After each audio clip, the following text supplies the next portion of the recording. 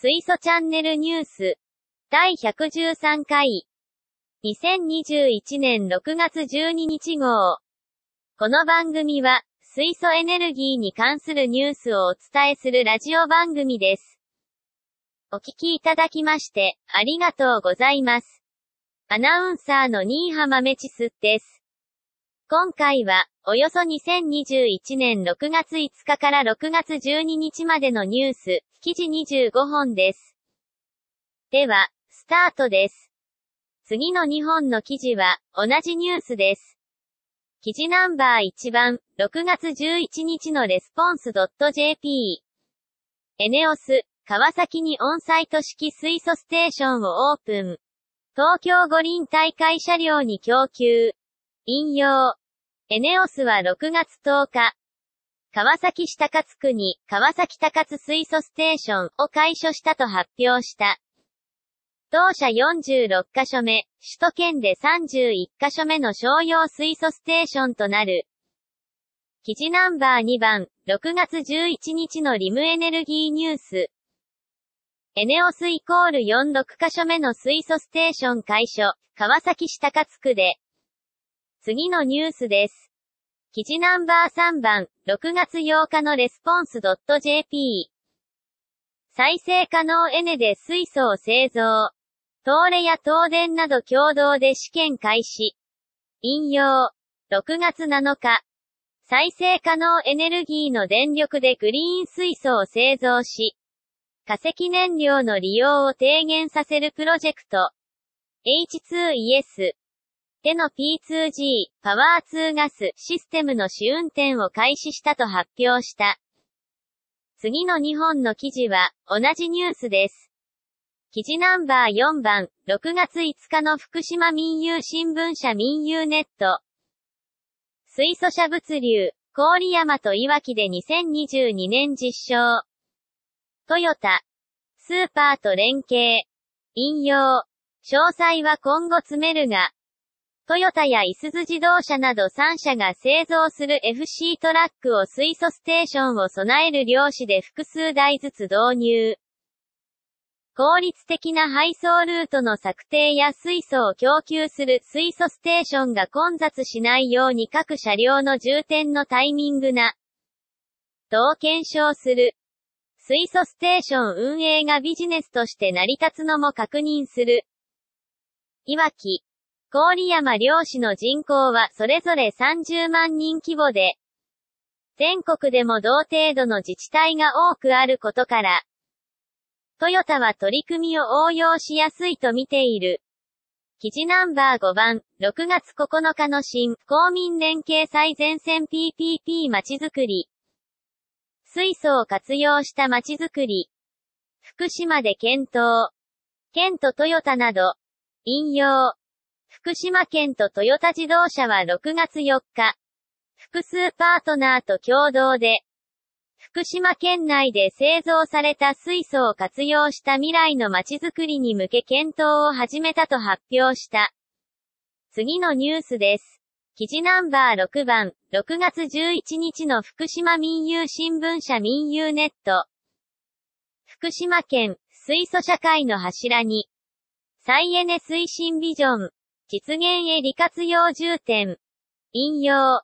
県は、本年度から10年間を期間とする時期、再生可能エネルギー推進ビジョンの新たな柱として、水素社会の実現を掲げる。記事ナンバー7番、6月9日のニュースイッチバイ日刊工業新聞社。水素ステーションのコスト減につながる新型圧縮機の実力。記事ナンバー8番、6月7日のマイナビニュース。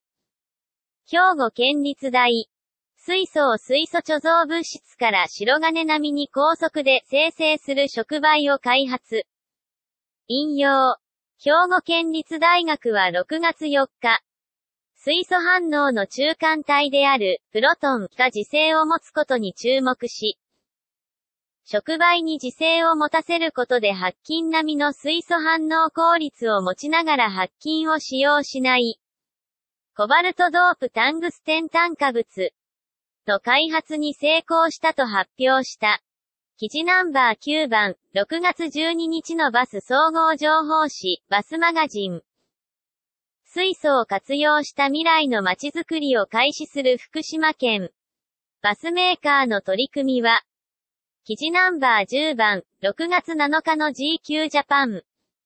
トヨタが開発に力を注ぐ水素エンジンとは、記事ナンバー11番、6月10日の日経ビジネス。内燃機関は死なず、トヨタの水素エンジン。記事ナンバー12番、6月11日のニューズウィーク日本版。EV シフトの盲点とは、トヨタが水素車に固執するこれだけのわけ。記事ナンバー13番、6月9日の日本経済新聞。水素エンジンの世界普及には課題。官民で環境づくりを。記事ナンバー14番、6月6日の朝日 .com。脱炭素社会の実現に向けた、水素エネルギーの可能性。記事ナンバー15番、6月7日の産経ニュース。脱炭素最前線。超。水素ガスタービンで CO2 排出をゼロ。三菱重工、火力代替。世界トップ走る。記事ナンバー16番、6月9日の日本経済新聞。SUV が必要です。夢の燃料、水素、FCV に課題。ジェイハイム社長に聞く、超。記事ナンバー17番、6月10日の日本経済新聞。水素ステーション建設費4億円。普及阻むコストの許可べ。ジェイハイム社長に聞く、け。記事ナンバー18番、6月8日の投資る。なぜ下がらないプラチナ価格、将来、水素社会の必需品になる可能性も。記事ナンバー19番、6月11日の日本経済新聞。記者の目水素製鉄実現へ環境投資が主に。記事ナンバー20番、6月10日の日本経済新聞。イタルが、水素製鉄へ指導。脱炭素、ドイツ設備に2000億円。記事ナンバー21番、6月9日の日本経済新聞。韓国 SK、ウルサンに水素燃料基地。ロッテケミカルも参画。引用。韓国 SK グループが南東部のウルサン市に14万平方メートルの水素燃料基地を整備する計画を明らかにした。液体水素の生成工場を建設し、水素を燃料とした発電所も整備する。ロッテケミカルも参画し、同市に水素関連産業の集積を進める狙い。SK ガスが事業主体となってプロジェクトを推進する。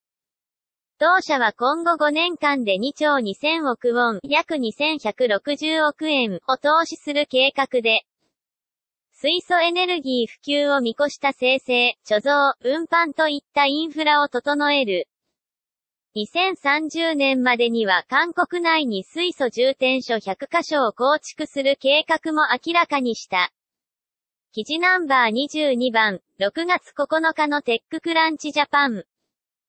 水素貯蔵、発電システムをディーゼル発電機の代わりに、オーストラリア国立科学機関の技術をエンズアが実用化。記事ナンバー23番、6月9日の NNA アジア。三菱重出資の H2U。水素、アンモニアに注力。引用。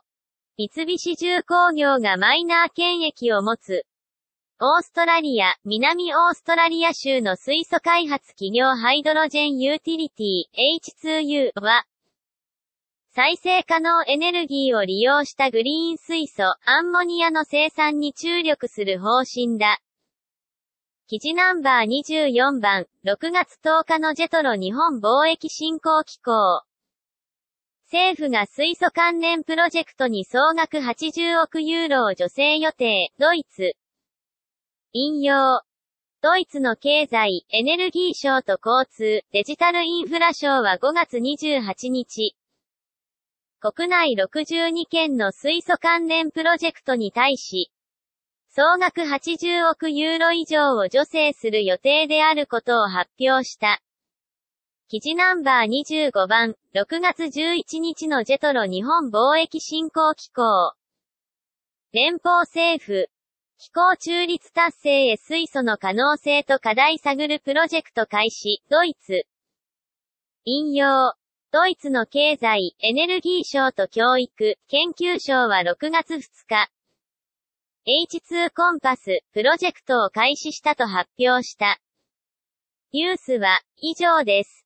今回お届けしました記事へのリンクは、動画の説明欄をご覧ください。最新ニュースへのアクセスと2000年からの過去ニュースの検索は、ウェブサイト水素チャンネルへ。アドレスは、https コロンスラッシュスラッシュ t a k a t, i, 数字の1、ドットネットスラッシュ h2、高木1ドットネットスラッシュ h2 です。次回は、6月19日土曜日の予定です。また、お会いしましょう。お相手は、新浜メチスでした。バイバイ。